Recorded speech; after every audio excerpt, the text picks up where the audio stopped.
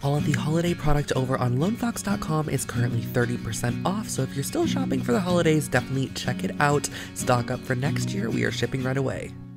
Hi, welcome back to the channel. Drew here from Lone Fox, and today we are starting another makeover and we're in the dining room, which you can't probably tell from this framing, but through this large arch here is the coffee bar. And then in front of me are the big kind of like doors that lead out to the balcony area. I'll actually pop up this little diagram here to give you an idea of the room we are working on in the house. This is directly above the movie room. So if you can imagine the movie room is the dining room from the lower apartment and then above, this is the dining room that we're actually using as a real dining room. I did kind of want to talk about what this room actually has gone through already because there actually has been quite a few changes in here from when I first moved in, primarily with a large arch over here because my original ideas in here was to actually open up all of the walls in this dining room. I wanted to create more of an open concept flow just to make it feel a little bit different than downstairs. They would have had to rip all the tile, all the original tile out of downstairs to restructure the upper walls it was gonna be a huge mess, so I essentially ended up opting to create this large archway in this wall, which opens it up a little bit, but not fully. And I actually really love the large open arch. I think it frames out the coffee bar area. It's kind of like a primary focal point of the kitchen now, and I really like it. And right in front of me right here was another set of flap doors leading into the breakfast nook, which I also had made into an archway. That way it kind of felt a little bit more of a pass through. Again, a little bit more of an open concept feel where you can easily walk through. In terms of furniture, all I have in this room currently is the table, which is right here. And this table I love. It was my first ever vintage furniture piece I ever purchased or owned. It's such a cool piece. It weighs a thousand pounds. I had to hire special movers to bring it up the stairs, but it is here and it is staying in here. So I definitely want to find some new chairs because at the moment, I just have a set of these black chairs and these are from Article. They're really great. And with the scale of the table and the scale of this dining room, I think we could do some larger chairs. We also have quite a bit of wall space in here. So we have this entire wall behind me, which we could do something with. And we also have an entire wall in front of me that we can do something with, which usually I feel like I'm struggling to find walls to put stuff on, but I don't know what I'm putting on these walls. So we shall see. So here we are in the dining room. This is the full room. Now it is actually a pretty large room. As you can see, like from the table to the wall, we have like an arm span, and then over here even, there's like a good amount of space in here, and there's even probably like six feet up to the door in front. All that I currently have in here is the table from the previous apartment, and then this is the matching bookcase, which I ended up purchasing from the same seller, my friend Brittany from Badlands. I don't think the bookcase is gonna live in here because it's just too small for this wall, and it's too small for this wall. It needs like its own small wall to shine on. We need to discuss colors, textures, um, curtain panels, and all the little bits and elements that are gonna make this room come to life. So let's do that. I grabbed this candle here because it has marble, which is very similar to what's in the coffee bar. So I definitely want to kind of place this just so I can see everything else in alignment. Now our floors here are very similar to this wood sample that I have. This is a cabinet, um, like wood swatch. And this is kind of what the floors look like. So we already have this dark brown and marble going on. I also definitely wanna incorporate some silver and some brass throughout as well. So I added this. This isn't as silvery as I'd like to go, but I thought the metal colors were super pretty there. So in the living room and breakfast nook, the panel is very similar to this lighter color, but I just don't think that will work here. So I actually wanted to take it a bit darker. These are the two darker options that we have.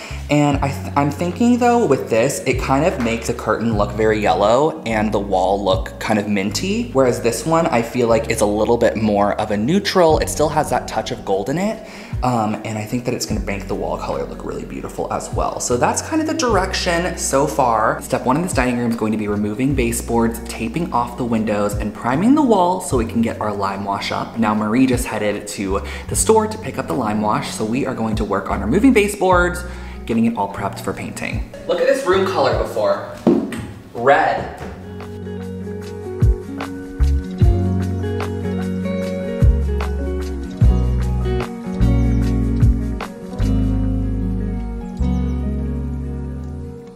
At one point we had this idea of putting this on top of here and making it like some crazy big desk, but that didn't come to fruition.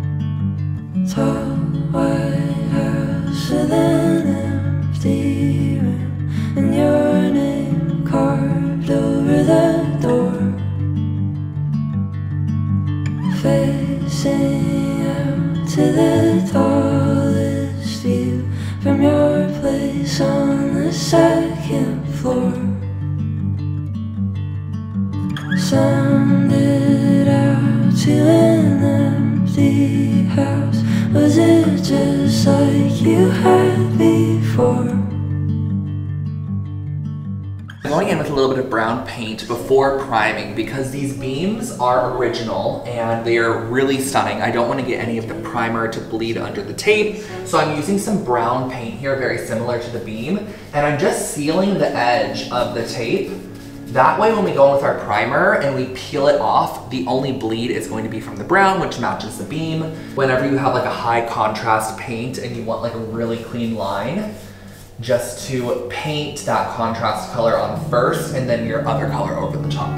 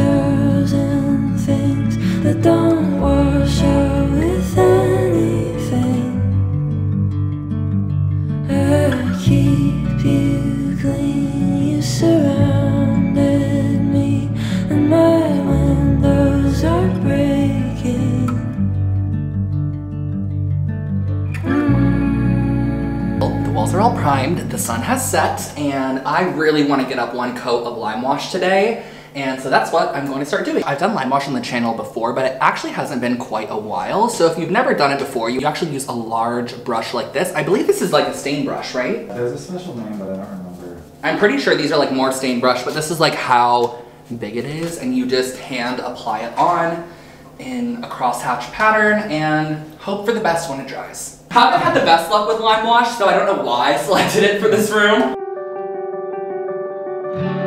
So I mentioned that I haven't had the best of luck with lime wash in the past, and that's just because when you go for light colors, sometimes it is more challenging to get that movement to show up.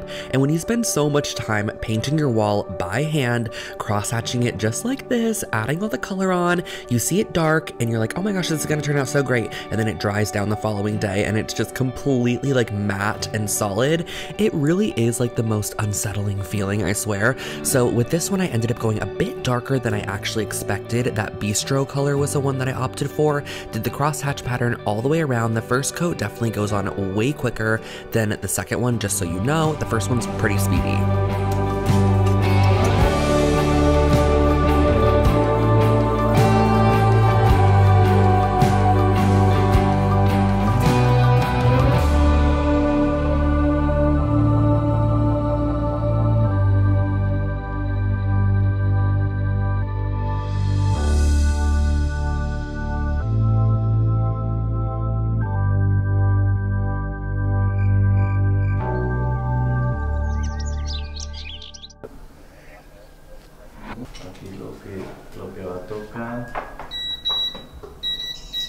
Good morning, everybody, and look at that wall color. It is looking really.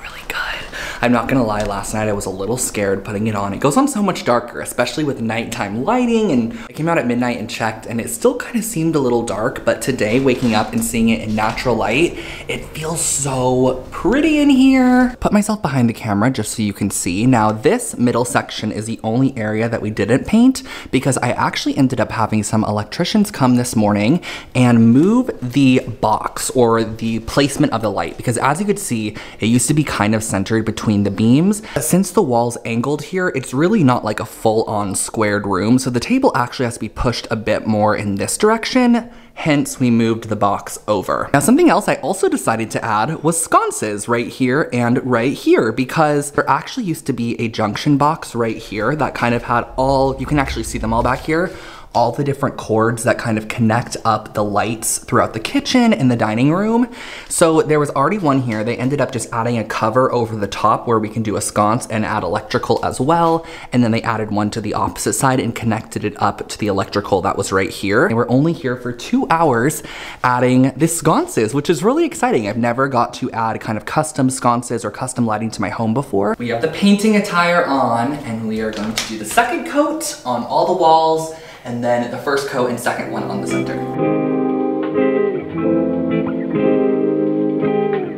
So when the lime wash actually dries down, it kind of turns into a chalky finish on the surface, and when you apply your second coat, the first coat really sucks it up, so you definitely are using quite a bit more product on your second coat, and it also requires a little bit more hand strength, just wanted to let you all know. The second coat is just a little bit more labor intensive than the first one, because the first one kind of glides onto the primer, and then the second one, you really are working that product into the first coat to get that kind of burnished finish. Okay, I think that this color is just perfection. Like it's starting to dry the second coat here and it just looks so great. It really kind of feels like some of the more warmer veining throughout the marble here. As you can see, like this warm color and then I'll zoom in like this right here. So pretty together and I love it. So we're finishing up this wall here, then gonna do a lunch break. There's Justin.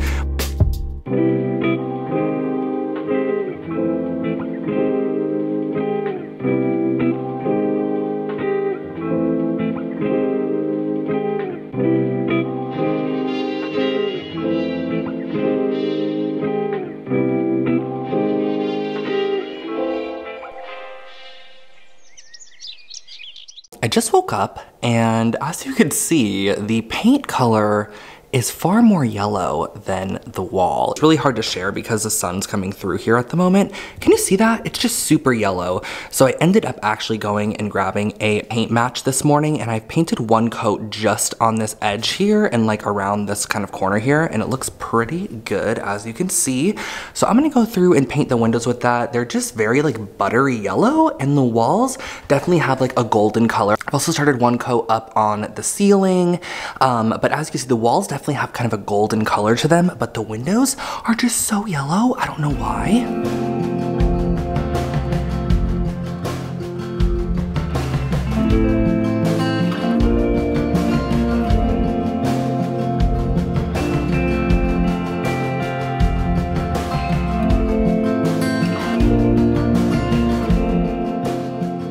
The painting's all finished in the dining room and it looks incredible. Gardeners are here, but I'm about to pull off the tape from these beams to see how it looks. I just, I love the wall color. It is so good, and I'm gonna share with you in just a minute. We need to clean everything up in here because it's pretty dirty at the moment.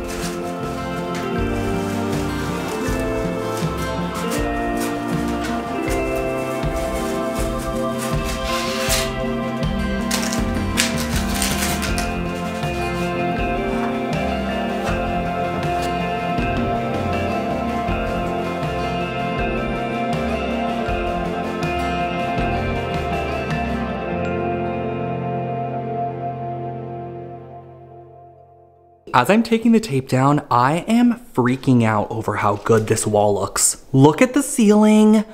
Oh, look how incredible.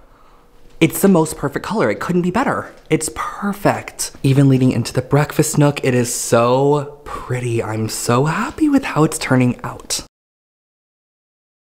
It is now golden hour on Saturday, so sadly I don't have Justin here to help me move this bookcase or I put it on this wall, which I don't actually know if it's going to be going in this room because I kind of think I want to do some other lower shelving over here. I've been looking at a specific piece online for a bit, but I love the color so much. It is just perfect in here. This is like the absolute warmest it gets. Um, during the daytime, it kind of feels really like oatmeal-y and really soft and just neutral. You have to also do a couple of touch-ups on the beams and then I'm going to be painting these two lights right here, the little art lights that were already installed. Um, I'm gonna paint them with the paint match that I got for the windows. But guess what? We have a delivery. The other day, I went to Olive Atelier. I haven't been there in a while, and I'm pretty sure if you've been on the channel for a bit, I actually did a drop with them a while back. And the way that I was kind of paid per se to promote the drop and you know, for my time being there and such was through a credit. So I've had a credit there and I've just been waiting for like the perfect piece of furniture or like that perfect item to pop up. And I found a set of chairs there that I'm so excited. So I used my credit on it. Essentially, girl math, so it was free. You know, it was free. I already, I work for it already. So like, essentially, they were free chairs. Okay, not actually, but anyways, I have the chairs there in the hallway. Let me bring one out and share it to you. So here is the dining chair. Why don't I just set it right here so you guys can see it in all of its glory? This is a Danish dining chair, a set of six Danish dining chairs, and it is such a cool chair. First of all, it's really chunky and substantial. I believe it's an oak wood, but the thing I love is it really feels like it could have paired with the table nicely. Also, they are beyond comfortable. Like, I could sit here forever. Like, this is just such a great little spot now, a perfect like dining area, and there's six of these. I do definitely have to get a rug in here to break up all of the dark wood. However, I love how grounding it is in the space, and I like how we have the beams up here to kind of also channel that dark wood. And I'm gonna be adding a bunch of other elements in here that are going to make it feel a lot more lively, Here's our third. Three chairs just fit so perfectly on either side. There's still like a great amount of room to move in and out.